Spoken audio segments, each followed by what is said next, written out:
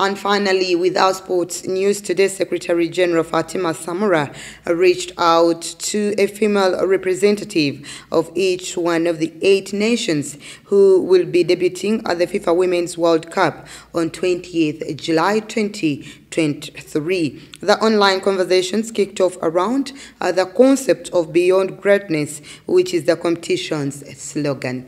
Ahumuza with more. The 2023 FIFA Women's World Cup will be the ninth edition of the FIFA Women's World Cup.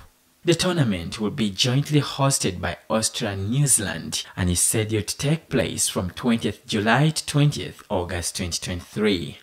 The tour will take the trophy to all 32 of the tournament's participating nations, plus all nine Women's World Cup host cities in the final weeks before the start of the tournament on 20th July.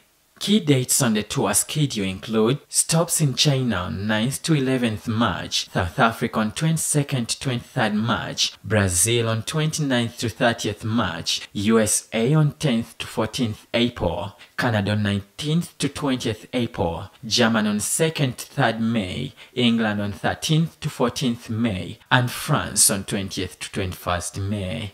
Several countries will also be part of the tour for the first time ever, including Colombia, Costa Rica, Denmark, Morocco, the Philippines, Ireland, Switzerland, Vietnam, and Zambia.